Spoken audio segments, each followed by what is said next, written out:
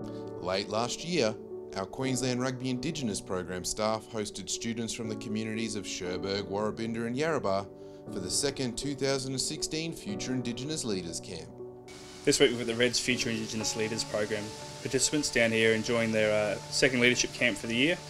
Uh, the Future Indigenous Leaders Program uh, is a program that we deliver in partnership with Rio Tinto and to the communities of Cherbourg, Woorabinda and Yarrabah. Uh, the program started a couple of years ago with, with 20 participants um, and now we're working with 85 participants from those communities and, and the, the kids we work with, boys and girls, um, they're part of the program um, because of the, they've been identified as potential leaders of those communities um, for the next generation. So uh, we work beside them with, with mentors one-on-one, um, assisting them to overcome any boundaries to their education uh, and then importantly supporting them um, through the major transitions of their life from primary to secondary uh, and then eventually from secondary into post-school employment or further education, be it university or TAFE.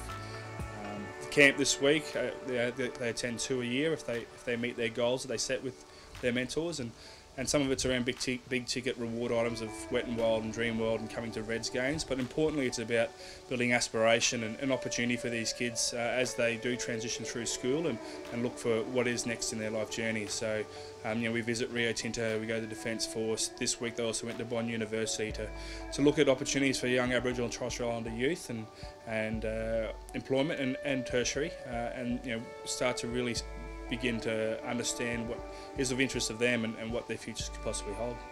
Rio Tinto have been a long-term partner of the program and their ongoing support has allowed Queensland rugby staff to use sport as a vehicle to encourage social change in the next generation of Aboriginal and Torres Strait Islander youth.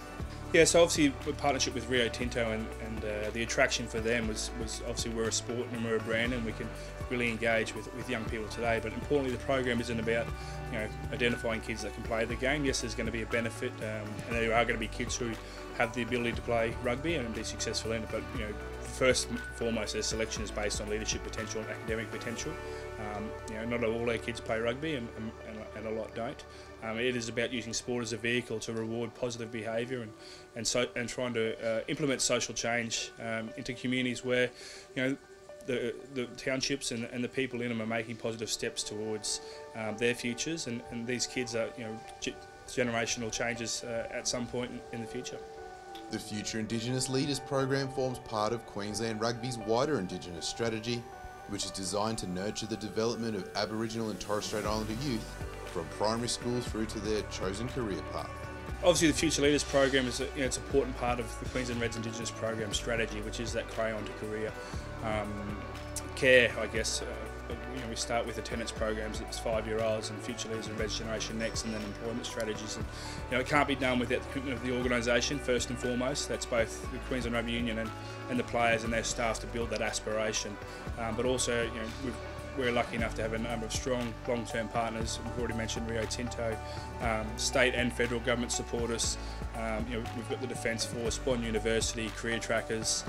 Last but not least is certainly the support of the communities. You know, it's really a collaborative effort. Um, we don't have any success without the schools and, and the communities and the elders all, all playing their part and, and helping us drive a program that's going to create outcomes for them. Um, you know, it can't be a top top-down driven uh, model. It has to be collaborative and community-driven. We think that's something that um, we've done reasonably well uh, and something that's certainly of high importance to uh, our strategy moving forward. Having the support of the communities is paramount to the program and for the community members involved, they can see the positive change in each individual child. The first time I went back, when I came on the first trip, I went back and I sat down with their parents. I, I explained what they did. And then I can't wait to go home because these kids they ch change a lot, and from from the start of this year now to the second term, this this work this this thing was fantastic. I couldn't get over how many kids they all got involved, and no matter how tired they were, they still got involved, and they were happy, you know, and that's what made me sat back and I took a big deep breath because I was going to have a bit of tears rolling down and I couldn't say much to the kids because they stepped up and they really stepped high. And the older kids, only only thing is the little kids are noticing this, and they keep noticing how these kids already there.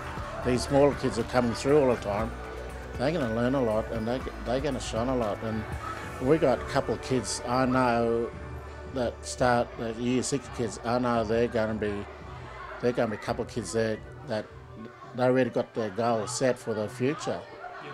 You know, they already know what they want to do.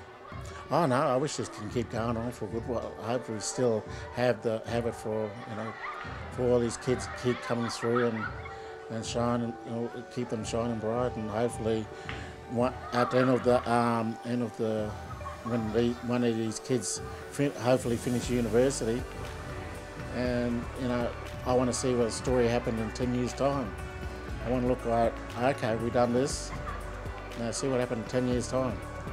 I think so, yeah, definitely. Like we can see it in a couple of the, the kids that we have on the program now. Uh, Jay is an example. He's um, he's got a scholarship, I believe it is, and yeah, just to see how his behaviour and everything's changed since he started the program. He's actually wanting to finish school now, and to get that opportunity to come down is excellent. And for the other kids to to be able to go in and see that there's career options in the Defence Force, they're getting to see like this trip they got to see um, all different types of jobs. So it's a great opportunity for them to see. They get to go to Bond University and see what uni is going to be like.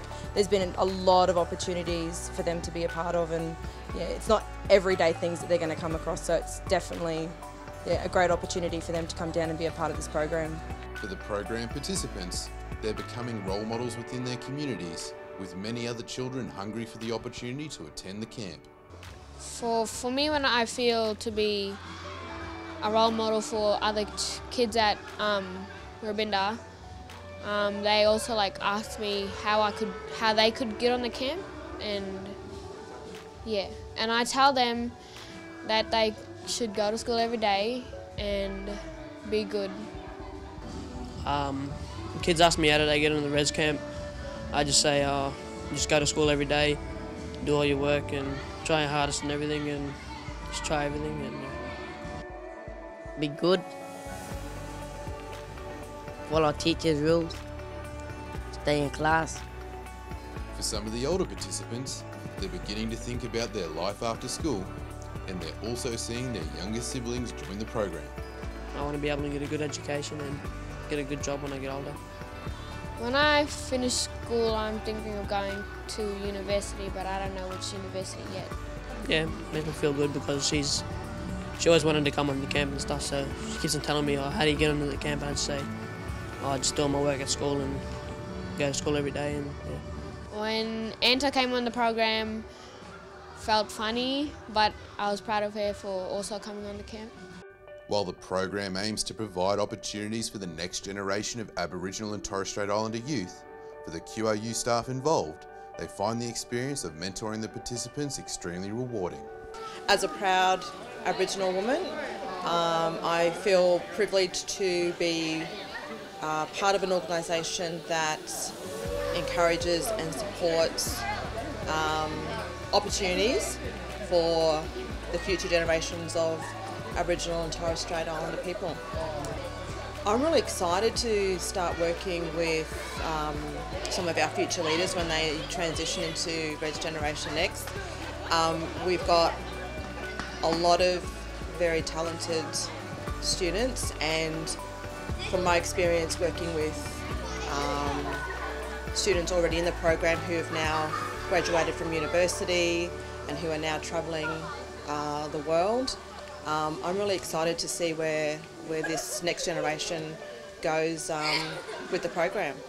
So with my education degree, uh, going through and doing uh, a subject on Indigenous uh, students and teaching Indigenous students became a bit of a passion for me when I was at uni and moving up to Cairns as a participation officer I um, got to work with a lot of Indigenous students up there doing attendance programs and a future leaders program in Yarrabah and also up in the Cape and it, you know really hit home for me and really enjoyed that sort of space where um, I felt like I was making a difference in these kids' lives. They obviously come from different, all different home lives, but you know they come to school and you know the benefits that you could see and the smiles that you could see from their face, you know, really made impression on me and something that I really wanted to get go a bit further in.